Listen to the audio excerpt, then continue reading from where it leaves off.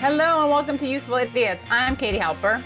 And I'm Aaron Mate. And you know, I look maybe it may look like I'm in a kind of bucolic hostage situation, but don't worry, I'm not. I'm just visiting Maine. So I'm not in my usual setup.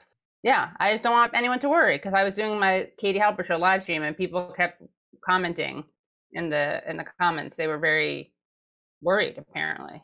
And well, Katie, if I could say them yeah. If I if I can use my forensic investigation skills, my first clue that you're not in a hostage situation is how good your hair looks.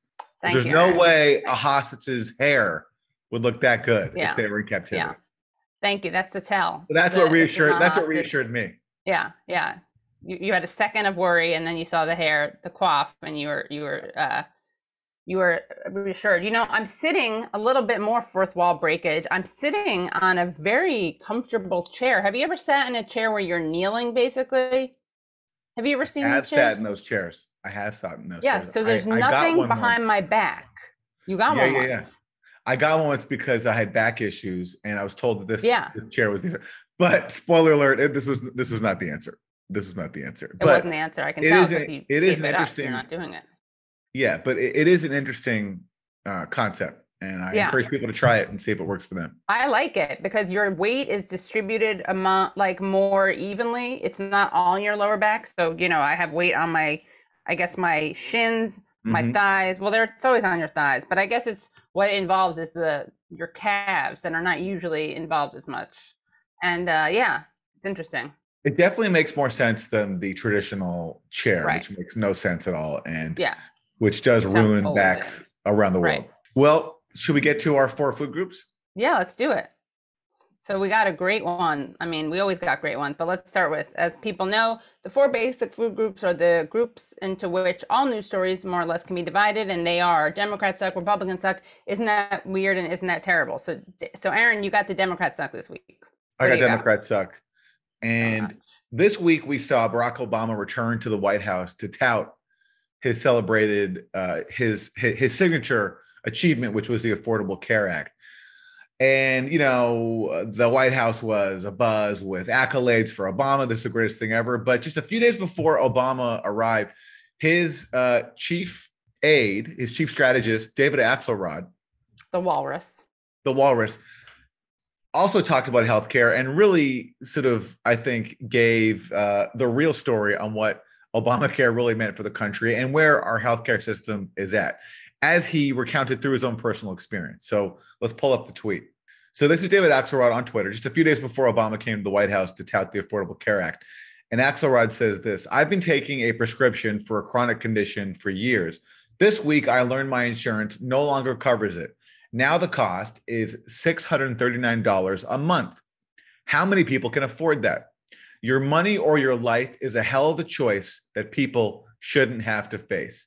And that is former Obama chief strategist David Axelrod, who was there and helped uh, oversee the passage of the Affordable Care Act. And he's discovering that I guess the Affordable Care Act is insufficient. Yeah, and that and that it basically preserved the same system that he is now critiquing. Because while yes, millions of people did get to en- enroll in healthcare programs as a result of that of the affordable care act and that's an achievement. It still left millions of people uninsured and basically propped up the power of private insurance companies and big pharma over right. our healthcare system. It was basically adopting mitt romney's plan. And so the the system that he's now finding himself critiquing is uh, one that he basically helped preserve with his Affordable Care Act. And the responses to David Axelrod really burned him for that. I mean, you can he got ratioed. And one of the best ones came from journalist Ken Klippenstein of The Intercept, who writes this Remember when you gave paid speeches to a health insurance trade group opposed to Medicare for all? And uh, and that's the point here is that you know Obama and his circle they not only opposed Medicare for all, which would, you know, take away the power of big pharma and big insurance companies to jack up prices and keep people uninsured. but also even during the during the debate over the um, Affordable Care Act, you know, Obama initially promised that there would be a public option, that there would be right. the creation of, of a public health care system in which people could enroll in if they want to. But they dropped that very, very quickly. And then Axelrod uh, has continued to give speeches to health insurance companies opposing Medicare for all. Jesus Christ. Yeah, you kind of can't make it up. I mean, it speaks to how it speaks to how pathetic our media is that he thought he could get away with that uh, without people, more people than Ken Klippenstein responding with this. Yeah. yeah. You know, like it's such an entitlement. He doesn't expect anyone to show up with any receipts. Yeah, and probably he didn't get asked about Medicare for all very much when he was in office because for the corporate media, that's just not even an issue under discussion. Right. When Obama, you mean when Obama was in office? Yeah, I mean, with with Bernie's movement, and this is one of the lasting positive legacies of the, of the Bernie movement is now it's on the agenda. And It's hard to ignore right. it now, but that was that was that, that was what Obama did so skillfully on behalf of the insurance industry is basically framing it so that the Affordable Care Act is like the pinnacle of healthcare reform. That's the right, best good as you can get. get. Yeah, exactly. Right. Any other responses? Nina Turner had a great response oh, too. Look at that congressional candidate. She says to David Axelrod, "You should care about these issues before they impact you personally." Yeah, which it's so so true. Like back when they were crafting healthcare policy, what David the the experience that David Axelrod is now talking about, did any of them even conceive of that? That some people, even with these reforms, are still not going to be able to afford healthcare. But now that now he's being reminded of it. And here's another one from uh, Ken Klippenstein a headline during the presidential uh, uh, primary 2019. Axelrod warns Medicare for all immigration proposals unpopular with voters. Right. So the guy is continuously lobbied against the only proposal on the table that could resolve all the problems he's critiquing, which is Medicare for all. You can't make this up. And can I, if I could just inject an, another tweet, I think this is kind of the cherry on top of the um, shit sundae that you are presenting to us, Aaron. So we got this tweet from Joe Biden. In America, healthcare should be a right, not a privilege. It only took him April 5th, 2022 to get that memo. Don't know where that was when he was running for president. Not sure he's going to do anything about it. But I'm sure I'm sure he will do nothing about it because I'm sure I'm confident he will do everything in his power to do nothing about it if you listen to their rhetoric now, they when they talk about healthcare being a right, not a privilege, in terms of how they want to see that right being actualized, they still frame it only in the, in the terms of giving people access to affordable right. healthcare. Yeah. If it's a right, if you actually believe that healthcare is a right, right, then you you would be saying they should have healthcare. Period. Right. Not, not access, access, to, to healthcare, right. not access, access to affordable healthcare, just healthcare. Period. But they won't say right. that. So I guess they're doing, I think they're doing maybe some damage control because they are anticipating some problems in the midterms. And the good news is they may not be doing anything for you and your loved ones, your health when it comes to issues of life and death, but they got some good tweets. Great they feel your pain on Twitter. Yeah. They feel your pain on Twitter. Yeah. So that's half the battle. So, well, for Republican suck, we got a story about, um, you know, I don't, you, I don't, she gets a lot of attention, so I don't like to cover her, but I think this one is pretty, this is a, this is good enough to get some coverage from us. So, uh, of course, this is a, a Marjorie Taylor Greene story, just reading from Yahoo News. Um, Greene revives QAnon smear in attack on GOP senators backing Jackson's SCOTUS nomination. Rep. Marjorie Taylor Greene, uh, Republican of Georgia, on Monday launched an outlandish attack against three Republican senators who support Judge Ketanji Brown Jackson's confirmation to the Supreme Court, accusing them of somehow being pro pedophile, quote unquote, pro pedophile. The line of attack echoes Greene's past support for the QAnon conspiracy theory that alleged former President Donald Trump was working to take down a powerful cabal of child traffickers, typically portrayed as the Democratic elite. Believers in the debunked belief frequently allege that their political opponents support pedophiles. Earlier on Monday, Senators Lisa Murkowski and Mitt Romney said they would be joining fellow Republican Susan Collins of Maine in supporting President Biden's nominee to the Supreme Court in a final vote expected later this week. The, the accusation that Jackson had been light in her sentencing of child porn offenders originated with Senator Josh Hawley and was a running theme throughout her confirmation hearings, despite repeated analyses showing that Jackson's rulings were within the mainstream of her fellow judges. Even the conservative National Review magazine called the allegation against Jackson, quote, meritless to the point of demagoguery, end quote. That didn't stop uh, Greene from calling these people who are saying they're going to vote for her uh, pro pedophile. You can always rely on Greene for speaking her mind. You never have to worry that she's going to hold back. Tough, it's a tough allegation. How do you even respond to being called pro pedophile? Pro pedophile? I know. PP, part of the pro pedophile lobby. PPL, big pe- big pedo lobby. They're part of the big pedo lobby. Yeah. What emerged for me from these hearings is uh, that Judge Jackson has some pretty cool views. Like when she was defending Guantanamo Bay prisoners, some senators were mad at her that she said that basically Donald Rumsfeld and George Bush would be liable for war crimes, and that was in That their was eyes like a horrible thing. But I thought it was Of awesome. course. Yeah, I know. Can't believe she's going to be able to get on the court. That's great. Yeah, I guess that makes us pro pedophile though. Oh yeah, we just yeah, we just we are part we are doing the bidding of the big pedo lobby. yeah, Yeah. yeah. We say that from a very anti-pedophile perspective, just Yeah. so you know. I will say this though, Katie, and I'm I'm not I'm not I don't want to you know I don't want to I don't want you to have to endorse this view if you don't agree because it's, it's what you're gonna controversial. But I will say this: we can cut this out if you if if it's too risky. I will say this: Marjorie Taylor Greene, as nutty as some of her views are, that's a more principled position than some members than even members of the squad, and that's just a sad reflection of where Right. the Democratic Party is at. Yeah. Maybe we can do a you can be like, Katie, I'm gonna say this and we can cut this out, and then we'll do a bleep censorship thing and the bars. And then if you want to see this, join our Substack at usefulidiots.substack.com and you can see what Aaron's talking about. That's a good scheme. We can do that. Every, I can do it, come up right? with a crazy. I can come up with like a risque, outlandish claim every week, and we can do Yeah. it for that. Uh, yeah. So what do we got next? We got isn't that weird, right? So, for isn't that weird? We have a story of sheer terror from the skies, and it relates to a passenger who is engaged in a particular sort of behavior that has gotten him arrested. But it wasn't violence. It was, uh, I guess you can call it deviance. Uh, and it is yeah. a Southwest passenger arrested for masturbating four times during a flight. Four times. Not once, not twice, not thrice, but four. Four times. And this I can understand once or twice, but four? this is a domestic flight too. So this is not even like an overseas trip. This is just Yeah. a domestic flight. Great pun from the Daily Beast saying total jerk, which is exactly what this guy is and what he did. A man on a Southwest Airlines flight from Seattle to Phoenix. So how long is that, Katie, from Seattle? I was thinking, yeah, how long is that? Anyone know? Uh, what do you guys think? Seattle to Phoenix? That's northwest to. I bet that's like an hour and a half at the most. Yeah, that is really. I mean, I'm dis. I'm. I don't know if I'm disgusted or impressed or both.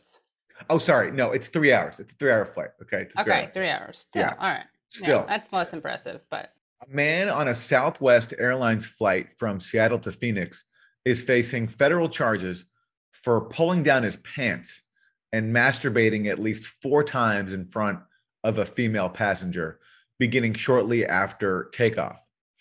Antonio Sherrod McGarity was arrested by officers from the Phoenix Police Department when Southwest Flight 3814 landed at Sky Harbor International Airport on Saturday, the complaint states. However, McGarity told cops he didn't do anything wrong and, in fact, thought it was kind of kinky, the complaint says. The incident started early on in the three hour flight when McGarity commenced his indelicate behavior, the filing alleges. McGarity was seated in seat 11F and the female witness was seated in seat 11E. Oh, so they're right next to each other. the worst. Oh my God. Shortly after taking off, and while the aircraft was in the air, McGarity exposed his penis by pulling down his pants and shorts and began masturbating. When the female seated next to him noticed the lewd behavior, she began taking pictures of McGarity. When he fell asleep after masturbating for roughly an hour, the female passenger, I'm sorry to laugh, the female passenger told the crew member about what she had witnessed and was allowed to move to another seat. Damn right. I mean, she should be upgraded to First class for life. for life for having to endure that. Yeah. The complaint states that when Southwest Airlines flight landed, Phoenix police officers interviewed the woman who reiterated she had seen McGarity masturbating on four separate occasions using both his left and right hands. Ambidextrous. Or McGarity also was also interviewed by FBI agents who allegedly admitted to his in-flight behavior. McGarity advised that he asked the female witness if she minded if he masturbates. According to McGarity, the female witness put her hands in the air and said it doesn't really matter. McGarity thought the response was kind of kinky and believed the female was comfortable with him masturbating. The complaint adds. In a statement to the, to the Daily Beast, a Southwest spokesperson said McGarity had been slapped with a lifetime ban. Well deserved. He probably thinks that's kinky. He, well, that is, I mean, I, you know, now obviously this this situation is not something to laugh at because the, you know this is serious and there are people been accused of similar things who have you know really uh traumatized people who've been Yes. the subject of a stuff like that so Right. it's just the uh, and obviously this guy has serious issues and Right. that that that that needs to be addressed and i'm sure he will face charges on top of being banned for life from Right. southwest Yeah. I mean, I'm curious if that's true. If I'm, I don't want to victim blame because she is the victim. Um, because she was this guy exposed himself to her and actually did worse than just exposing. You know, he actually masturbated in front of her four times. I am curious about the sequencing of events because she, I guess, waited. Now maybe she was scared, but yeah she did take out her camera, I guess, and take photos. But that just could be documenting the crime you know Yeah, no, it's documenting the crime. Yeah. If if she did say if she did throw up her hands and say it doesn't really matter, maybe because she was scared, she felt like she was being coerced. But yeah or or the guy's lying or the guy's lying or the guy's lying, right? Of course, Yeah. that's very possible, right? We should definitely enter. Yeah, that's definitely an option. But yeah, I would have probably asked for the upgrade, uh, the seat change a little earlier. Although I admire her her law and order skills. Like I I do admire that she documented it. I don't know if I would have been able to do that. Maybe Yeah. like a second of documentation and then request the change seat. I'll say this. I was in a sauna once at the YMCA in Montreal, and a guy started jerking off. And for a second I froze. It's a little, it's a little jarring. You know, you kind of don't know what to do. And I just got up and left. Was it that, just you but- and the guy? It was just me and the guy. Yeah. Did you tell anyone? Have I I I have told people. I mean, at the I didn't like go Well, to no- like oh, I didn't go to the staff. And, no, no, no, no, no, No. no. Because I felt I, I didn't want to, you know, I didn't want to be a snitch. Snitches, stitches are for snitches. The the grossest line of this piece you missed. You got to read the last sentence of this paragraph. Okay, so this is the this is the witness. And she told this is according to the police statement she suspected that mcgarity ejaculated because he licked a white substance from his fingers That's so disgusting. Here's hoping he had just eaten some powdered donuts, and that's what it was. A girl can dream. Wow. yeah yeah Or I guess, I guess to be, you know, not not white white powdered. I was thinking white powdered donuts. That came to my head, but really it should have been Boston cream. Oh, okay All I'm sorry. all right all right well i think we've i think we've covered that story sufficiently I think we've exhausted that story. Yeah. Yeah, that's one of Yeah. those weird slash terrible, but those things are often they often walk a a fine line. So Yes, for my for my isn't that terrible? Albert Pujols is divorcing his wife of 22 years. On Monday, Pujols announced that he was filing for divorce. The announcement came days after the news that his wife Deirdre had undergone successful surgery to remove a brain tumor. Tuesday, TMZ reported that Pujols cited irreconcilable differences in the filing and that the couple had been split up since February.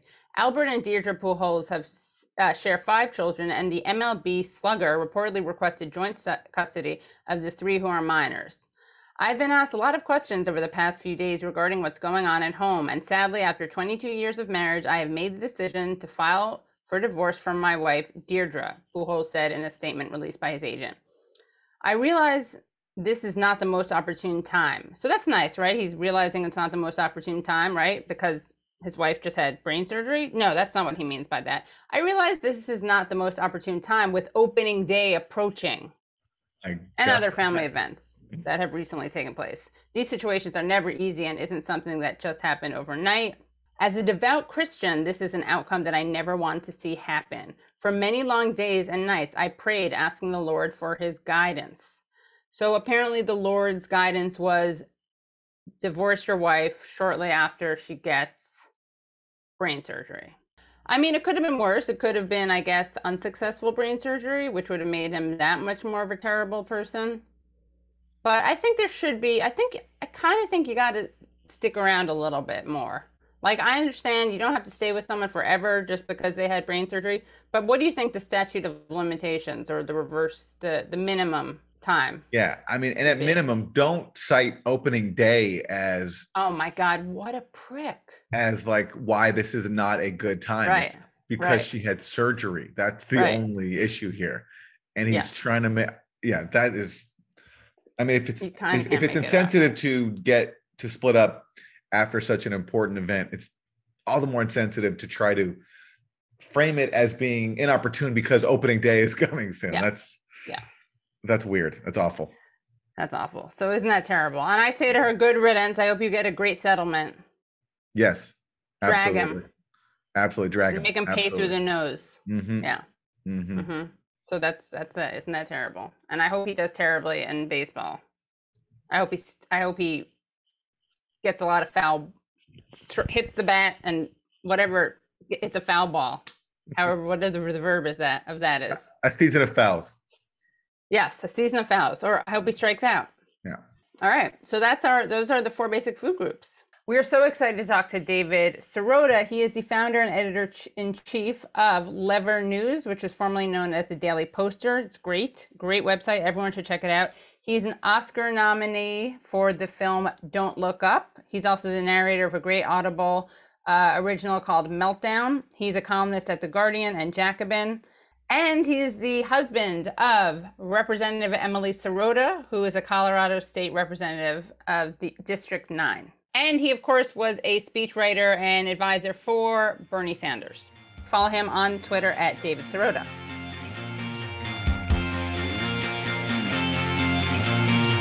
Welcome, David Sirota. We are so excited to have you back on Useful Idiots. This is a historic appearance, though, because this- is your first time on as an Oscar nominee, right? Yes. Well, yes. All right. I didn't yes. miss anything from before this. And of course, that was for your amazing film, Don't Look Up, which was on Netflix and uh, the second most watched Netflix film ever. Yes, it was the uh, second uh, most watched movie on the world's largest streaming platform. So um, I never thought I'd participate in making a movie. I, I certainly never thought I'd participate in making a movie that got that big an audience. And I absolutely never thought I would be um, nominated for an Oscar. Um, we didn't And win. then awarded a Writers Guild. and we won the Writers Guild uh, Award for Best Screenplay. Yes, I saw a picture of Kenneth Branagh recently and was like, Branagh. We we Right. we lost to Kenneth Branagh on Best Screenplay, but you know, a friend of mine said, "Listen, if you lose to one of the greatest actors in the modern history of the of the world, like you can't feel that bad." So Right. I, I agree with that. Yeah. You can't feel that deprived. Right? Exactly. Did you see Belfast? Uh, I did. Uh, I did, and it's it's you know it's a it's a very different movie from from ours. That was that was actually the the thing that I was I sort of never I you know I don't pay attention that much to the Oscars and the like, but one thing that, that you know when you get nominated for an Oscar, you then start paying like a lot of attention to it, and it's just kind of weird that like. And this is not a, a commentary on any of the other movies. It's just kind of like our movie was so different from most of the other movies that it was it's almost it's almost kind of bizarre to have it like in a in the same kind of Category. contest Yeah. as every yeah it's like a different genre different category it's just it's just kind of a weird a weird process like that Yeah. They need to best allegory about uh, impending doom category. right picture, exactly Yeah, yeah. So we're gonna first talk about politics and um, uh, in a direct way. Your film is very political, so we're gonna be talking about politics through that. But let's just let's just get the Oscar talk out of the way because you know people people are are really want to hear it. I gotta ask, where were you? I know you weren't in the room at the time of the Great Slap. you could have had you been there, you would have had a, a great v- view of this. Am I correct? absolutely uh i was i was sitting probably 10 or 15 feet from where will smith was sitting uh i was not in the room uh i was out uh having a drink uh, at the bar with Adam McKay, Maggie Gyllenhaal, and Peter Sarsgaard. Adam, me, and Maggie had just n- learned that we were not getting the Oscar, so we were out sort of commiserating about it. And somebody I forget who it was came by and said uh, Will Smith slapped uh, Chris Rock on stage, and to be quite frank, it didn't make any sense to me. Like that, like that, like when some it didn't like it was like I don't know what you're talking about. Like that doesn't what is I don't even know what that means, right? And and then when by the time we got back into the theater, Will Smith was then winning his best actor award and he gave this speech that to me it was like i was like i'm not even sure what he's talking about like he's he's it's just like an incoherent sort of some kind of damage control on something right. but i don't really know what he's actually even exactly talking about so it was a a very bizarre um disorienting experience uh, for me and I, and everybody of course asked me what well, what happened in the room when it when when when the slap happened and i'm like mm, i was out having a drink right Sadly, you could have you could have waited could have been there. the most important discussion, gripping yes. the nation. Yeah. How did you get involved in this project in the first place? Uh, because I know you're you're you were credited as the story, right? So you didn't you're not a screenwriter on it. Right, you're the right. story creator. So what what was the process like that you even got it to Adam McKay? So Adam and I have been friends for a long time uh, many really i think it's 15 or almost 20 years uh, and he and i talk about a lot of things all the time he's very uh, into politics so am i obviously and uh, after uh, we actually spent the uh, 2016 election night together with the cast of succession because I happened to be in New York. He was there, uh, and they were doing their first table read on the uh, on the show, and it was a it was a night where we were both looking at each other like we we sort of knew that was going to happen. Uh, I mean, we I I, I don't want to I don't want to say I, I predicted it, but it was like it was sort of like confirming all of the concerns that we had had about what was happening on the campaign uh, and what was happening sort of longer term uh, to the Democratic Party. By the way, not to say that I, you know, thought that Hillary Clinton was such a fantastic uh, candidate. I obviously, if anybody knows my work, I did not think she was a particularly fantastic uh, candidate, to say the least. Uh, but after that, uh, right after that, his movie Vice came out, which I thought was an absolutely horrific movie, and it was a very divisive movie, more divisive than The Big Short. Uh, and and in my view, it was divisive because it had the audacity to actually um, talk about things that you're not really allowed to talk about very much in our typical media environment. You know, stuff like uh, out of control wars, you know, the neoconservative movement, uh, the movement to consolidate power in the presidency. All that stuff is the center central focus of that movie, and it was very divisive. And it's also an actually a, a, hilarious movie. So I said to him, I had written a climate story uh, uh around that time, and, and I said to him, I was like, you know you really have to use your superpowers of mixing comedy and politics to say something about the climate crisis and he said yeah you know i know but i just i haven't been able to figure out how to do this without it being a kind of dystopian post-apocalyptic mad max uh, uh, kind of movie and i don't want to do that mm. so we were talking and I, I i had done was doing this series of climate stories and i said to him i was like you know at one point i said it's such a bummer I, I don't know why these stories they don't gain traction they don't really they don't feel like they land and i said it kind of feels like an asteroid is headed towards earth and nobody cares and he said you know maybe there's an idea there for a movie. And so we started spitballing scenes and going back and forth over a course of a number of weeks about, oh, you know, if an asteroid was headed towards Earth, the uh, the bill to fund uh, asteroid deflection would be uh, blocked because there would be a government shutdown, or because we got distracted on a war over here, or because we just couldn't focus. And if the media tried to process it, it would be like a one day story and then it would go away.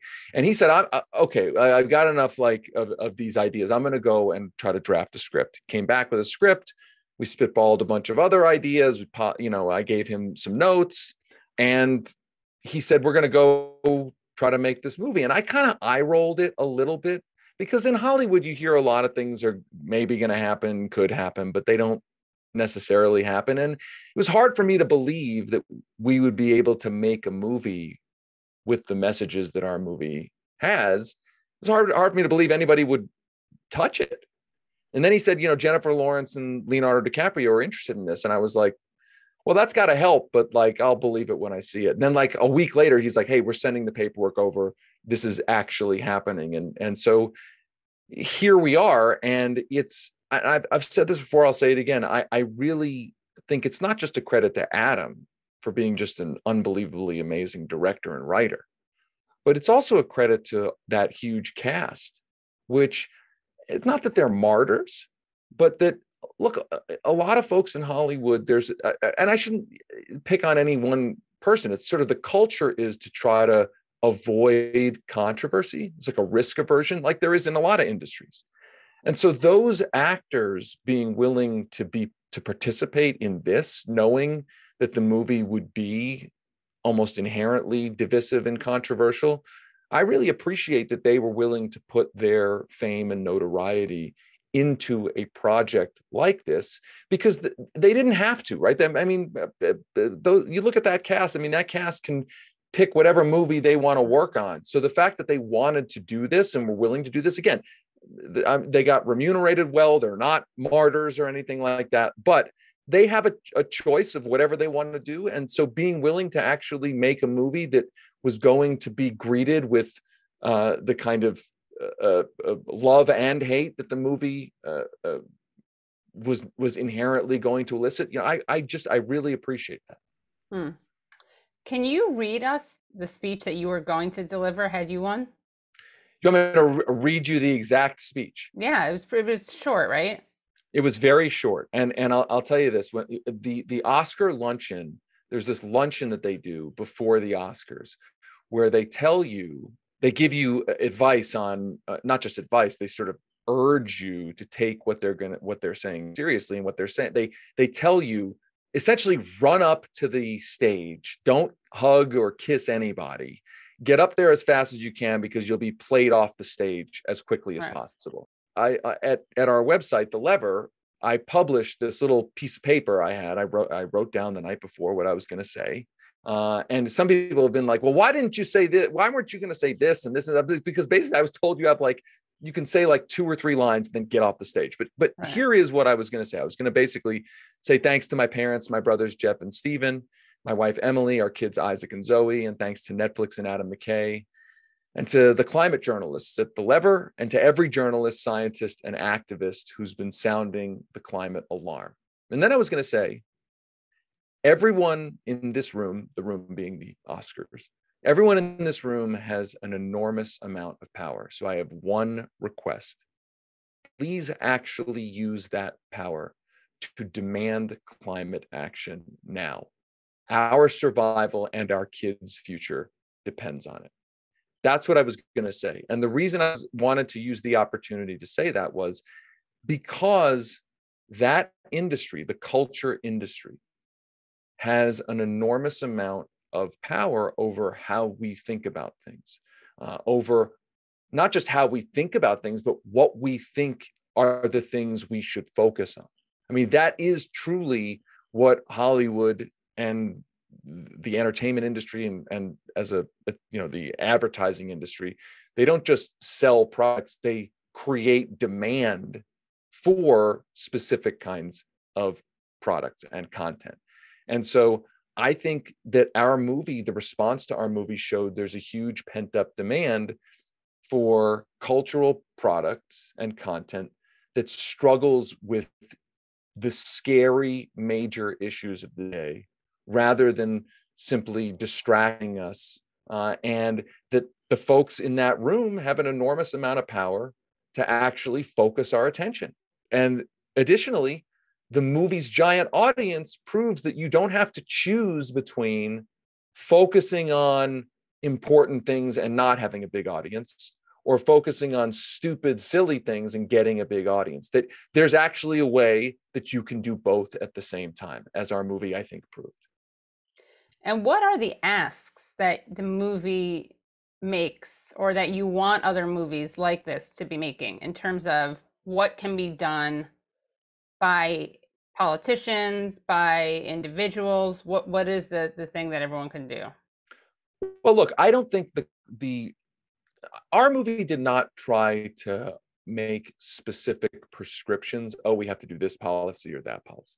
I think the first thing we that that our movie tried to do was to say uh, is that when scientists say a crisis is urgent, and the facts have been interrogated about that crisis, and the facts are unquestionable, are verified, unquestionable. And I think hopefully we can all agree that the climate crisis is a crisis. It's a big problem. It is real, and we should do something about it. That when that alarm is sounded, and we need to be able to stipulate those facts uh, after verifying them, and then be able to have a constructive discussion uh, about what to do. And that we're still at the stage in the climate crisis, I would argue, in which we haven't necessarily stipulated that it's urgent. In some cases, we haven't necessarily stipulated that it's even really real, right? So, our movie, I think, was part of trying to grab everybody by the lapels and be like, this is what happens when we don't listen. And I think moving forward, there can be all sorts of content about what the right policy is or or what needs to be done and who's not listening. I mean, here's the thing if you actually take a look at so much of cultural content today, you know what's really interesting? Because I hadn't really thought of this until working on this movie. Do you see the climate crisis even in the background? Like, do you like like even just uh, sort of at, at, maybe there's a human drama happening in the foreground and then in the background there there's torrential rains or there's a flood like you barely even see the climate crisis in that context I remember in in um, the film uh, Parasite, the climate crisis is oh, actually yeah. there, kind of at least, and it's an unbelievably amazing movie about right. you know sort of power and class, and and extra extra credit to having the climate crisis is right there, the rain, the floods, etc. Like in most movies and TV shows in America, it's not the climate crisis is is has is erased. It's not even there. And the problem with that is look, there's a segment of the population that essentially denies that either the climate change climate change is happening or that it's a problem. Okay. Then there's a segment of the population that knows climate change is a problem, is convinced that it's urgent, uh, and has already been is already there.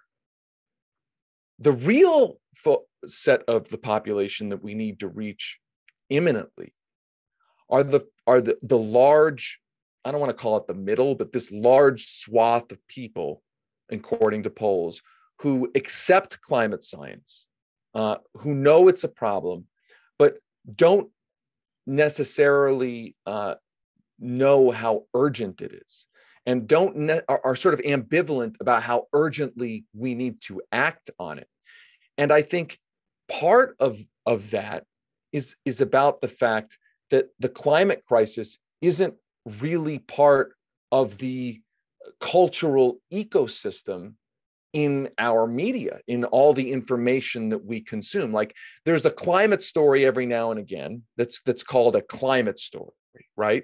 It's over here maybe there's one big expose and then the climate crisis sort of goes away right? It's not part of the of the baked in daily way that we talk about politics and the news. Uh, and, and, it's not part of, as I just said, it's not even really part of the background of sort of all of our cultural products that we that we consume on a daily basis. So m- mobilizing that part of the population is in part a challenge to to put the climate crisis that is actually happening to put that into the story uh, of the world around us the stories that we're telling ourselves there's a scene I want to ask you about. And so this is a bit of a spoiler alert for anybody who's not seen the movie. Maybe fast forward this question and answer. And I'll try to withhold as many details as I can. But basically, it's a scene in which your protagonists are realized have realized that their efforts have failed, that catastrophe is coming. And yet they're greeting the moment with complete peace and serenity. They're having dinner basically together and they're commiserating. And I just thought that was there's something really beautiful about that. Mm-hmm. I'm wondering what informed that scene choice to have your protagonists react that way to something that they tried with all their might to avoid, but they ultimately couldn't. Aaron, thanks for asking that question. It's a great question. Um, I, I, I will answer it by first saying, and this is a spoiler alert, but after the right when the movie was finished shooting, um, Adam called me, uh, and we were, we were they were going to submit the sort of rough cut to Netflix, and he said, and he he basically expressed a little bit of trepidation, like, uh, is Netflix going to be okay with us uh, ending the movie the way we end the movie? And and I guess I'll eh, let's just say it doesn't end eh, very happily uh, uh, for humanity. Uh, and and I was very much like, man, that's the only way this movie can end. Like it it has to end that way. Uh, and and he he you know he wrote the script, so. And I also told him, like, listen, it's the ending that you submitted to the script that Netflix bought, so you, they can't pretend to be surprised. Um, and what ended up happening was is that you know he he stuck with it. We, we Netflix loved it, and in the audience tests of the movie, the ending is the thing that that generated the best response uh, of most of, of the of the movie.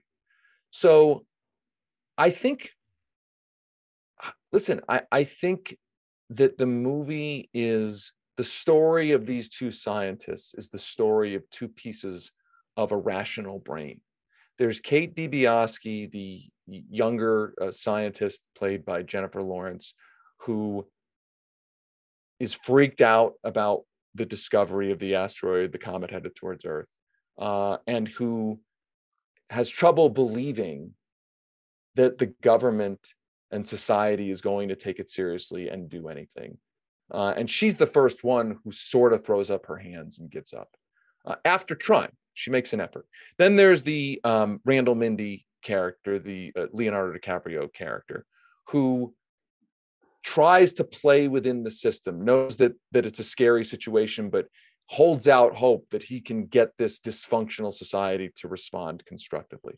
Uh, and then he sort of gets kind of co-opted and a little bit corrupted, and then he's disgusted with himself. And finally, by the end, that you know he he finds himself in the same place as Kate Dibiasky. I think the the end is it's kind of where we'd all like to hope that if that situation if a situation like that happened that we would all end up which is like we real and she says at the at the dinner table she says we, we tried. Uh, and it's a very you know it's the thing is that it's a very unsatisfying comment because it's both it's both sad and it's um it's demoralized obviously but it's also real. Now i want to i want to say one other thing about that which is that my concern when the movie came out was that I didn't want people to see the end at the dinner table as prophecy or destiny. I want people to see it, and people can see it any way they want, but I want people to see it as cautionary. There's a line in in Leonardo DiCaprio's uh, rant, and he says something to the effect of, "We could have stopped it." And that's where i think we are in the in the story of climate change that that he's lamenting that we actually in the movie they actually had the wherewithal the technological wherewithal. They knew how to stop it. They could have done it. And and he's confused perplexed and angry that that it could have been stopped. And really it wasn't a matter of of of ability technology that the reason it wasn't stopped was because of the dysfunction.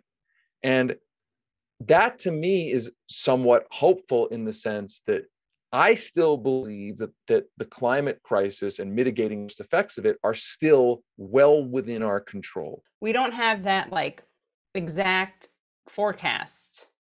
Yeah. So how how do we make I feel like part of the job is that we have to kind of like lay it out to the extent that we know, but we also things change, right? You don't know exactly how it's going to go. And then you have skeptics or anti science people who point to the fact that it didn't exactly happen the way it was predicted to kind of undermine science in general. So it's somewhat tricky because you do want to kind of scare people into waking up, but there are a lot of unknowns. So what's your advice?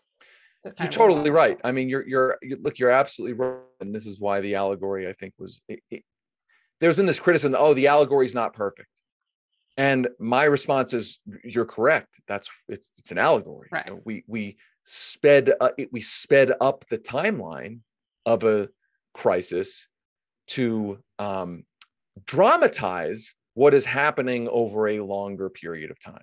The trick with climate change is, is that is that people perceive it to still be, especially older people, I think, perceive it to be outside the scope of their own lifetime. I have this theory, by the way, that if we suddenly, uh, uh, there was this great uh, book by um, Drew uh, Magary uh, about uh, what was it called? It was called the the, the Post Mortal, where where it's a great science fiction book where they they found a way to give people a shot that would freeze them in time and they could live essentially forever or at least to like a thousand years old right and i have a theory that if everybody if the average age of the of a human being would be a thousand year life lifespan that everyone would suddenly care a lot more about climate change because mm. you know you'd be living through it like through the really bad part so it is a huge huge problem that climate change's perceived timeline and I want to underscore perceived. We'll get to that in a second, but that its perceived timeline is perceived to be outside of the scope of a human, uh, of an older human being's lifetime. Uh, now, I say perceived because, of course, uh, we know that the uh, some of the worst effects of it are happening uh, in the very near future. We we know that, um, and so how do we get our society to respond in a in a short-term emergency kind of way to something that is still perceived to be long-term. I think part of it is that that uh, frankly public education like to educate the public about the fact that this is a short-term here and now crisis that's uh, go back to what i said about you know the large swath of the population who accepts climate science but doesn't necessarily see it as an urgent problem like that is a critical part of this so, and, and and so why is it a critical part it's a critical part because then when they when people see their public officials not acting with urgency, then it becomes electorally actionable as opposed to just one or another issue. In other words, if we see and feel that a crisis is in the here and now, and then we see and hear about our elected officials not treating it with urgency, at least in theory, that makes it a central part of how we decide who our representatives are, who we decide has political power in this country. And I think, I think, frankly, the jury is still out on whether climate change is an electorally is an electorally central and actionable issue. And we just reported uh, at the lever uh, this week on a just as one example, a, a congressional race in Oregon, where the Democratic establishment and part of the progressive movement have lined up behind a candidate who's been pushing a massive fossil fuel infrastructure plan in the blue state of Oregon. And in, in, a, in, an alternate reality where we understand how urgent the crisis is, that would be a central dividing point, litmus test issue in a, a run of the mill congressional race. But it, it, it isn't necessarily yet. And so that goes back to the problem of not necessarily seeing this as urgent, even though it is. And I, want to be clear. I don't mean to pick only on that candidate in Oregon, but it's it's a it's a it's a it's a microcosm of how the to use the metaphor, the comet is headed towards Earth. People are running for office uh, who have been on one side or the other of whether to stop the climate, excuse me, the comet, and it, it's not necessarily top of mind for voters who are choosing who to put in power. And, and that's the problem. Yeah. The card that often gets played in defense of fossil fuel intensive projects is jobs, that these projects create jobs. Do you think we on the progressive side have done a good enough job in coming up with alternatives to counter that argument, which is constantly deployed that if you support this, you're going to take away working class people's jobs? Right. Listen, I'm yeah, I'm talking to you from Colorado, and, and that argument defines the way fossil fuels are discussed in this state. And we are an oil and gas state. And it is maddening. It is maddening for a number of reasons. first and foremost, the fossil fuel industry simply does not create that many jobs. And by that, I mean, yes, there are people who work in and around the fossil fuel industry, but as a percentage of the economy, it is a relatively minuscule part of the economy, even in a fossil fuel state like Colorado. And that is in part because of technological advancements and the like. Point being that it's almost part of the mythology, but not part of the reality. But the mythology is perpetuated by political campaign ads. It's perpetuated by a media that simply sort of vomits up uh, the the kind of jobs argument uh, that you mentioned. It, it's it's almost never debunked, uh, and Democrats, I think, they sort of they never they never uh, they rarely ever frontally challenge the idea that uh, uh, of this idea of some huge link between fossil fuel uh, extraction and job. They they never just say actually it, it's it's a lot of nonsense uh, that that the energy uh, transition, and by the way, the fossil fuel cleanup. That's another. There's not just uh, jobs in the uh, in in clean energy industries, but there's lots of jobs to be created in simply cleaning up fossil fuel industry's mess. You know, for instance, uh, capping wells. That may sound like an esoteric issue, but the, when the fossil fuel companies drill a well, uh, oftentimes they just leave. Uh, and that, of course, uh, leaks methane. There's a huge amount of jobs to be created in just cleaning that up. But eh, but the point is, is that that's not nearly as much of the conversation around the economic uh, uh, questions about this. I mean, and then and and the thing that obviously I think you know is is just mind-boggling is I mean it goes back. I mean, there's two there's two lines that this that that, that your question brings up to me is one uh, is my favorite line in the whole movie is when Jennifer Lawrence's character comes home uh, and she comes to her parents' house uh, and her, her her she comes in her dad and you know she's been now famous for having blown the whistle on the comet and her dad says no politics in this house. If you come in back into our house you can't talk politics. She's like how's a comet politics? And then her mom says uh, uh, your father and i are for the jobs that the comet will bring right? And that's sort of to to to kind of illustrate how pervasive uh, this argument is even though it's ridiculous. And the other line it brings up is you know they're talking about how we can you know we can have the comet the comet's going to create wealth and you hear that about the fossil fuel industry and at one point leonardo dicaprio says to the president what do all these trillions of dollars mean if we're all going to die? Right? I mean ultimately i'm i'm not insensitive to people who are working in the fossil fuel industry who uh, who who have skills that can be transitioned to the clean energy economy. Those people are not uh, the villains here. Uh, those folks uh, deserve to be supported in a transition, absolutely. Uh, but but the point is is that there's also this question of of why are we preserving an industry and preserving jobs uh, if in 10 15 20 years the livable ecosystem that supports all human life is going to be uh, significantly deteriorated or gone. I mean, I'm again coming to you from Colorado. There are vast swaths of this state that, if you look at the map of what's going to happen because of climate change in our lifetime, vast swaths of our state that may not be livable. So, what is what? What are we talking about jobs if we're not first talking about like making sure you can like actually uh, live in a state, live in vast parts of the United States?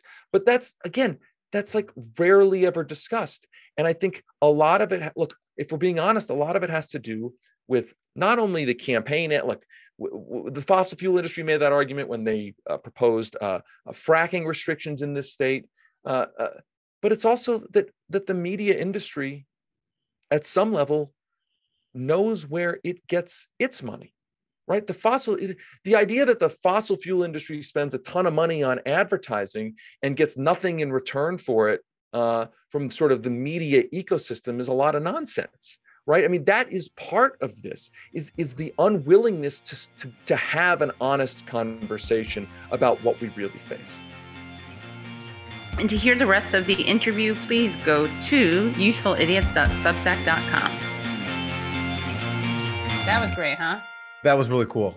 He's a really insightful and funny guy, and I think has a good perspective on this moment of Hollywood fame that he just experienced. And it was, Yeah. cool, it was cool to hear about it. Yeah, very cool. And make sure you become uh, Substack subscribers because you're definitely going to want to hear us talk to David Sirota about the uh, celebrities he met. We go over some interesting photographs of him that he posted on Twitter um, with various celebrities. So that's good. It's good fun, good trouble. Yeah. Good trouble. Uh, it would be nice if we could save the world Well, one Hollywood blockbuster at a time. One Hollywood blockbuster at a time. Yeah. Yeah. Katie, where can people go if they want to support the show? They can go to usefulidiots.substack.com. You can also subscribe on YouTube, youtube.com slash usefulidiots. Uh, make sure you rate and review us as a podcast. That would be great. We'll Tune in Monday, Monday morning. morning. Yeah, Monday morning on YouTube. Bye, everyone. Thanks so much. Bye, everybody. Hello, thank you so much for listening to and watching Useful Idiots. For full episodes and extended interviews, please subscribe at usefulidiots.substack.com. You can subscribe on YouTube at youtube.com slash usefulidiots for clips, live streams, and full episodes. Also, subscribe to us wherever you find your podcast. Follow us on Twitter at usefulidiotsPod and use the hashtag usefulidiotsPod. Join us Mondays at 10 a.m. for the Useful Idiots Monday Morning Show, where we discuss the Sunday morning news shows so you don't have to watch them.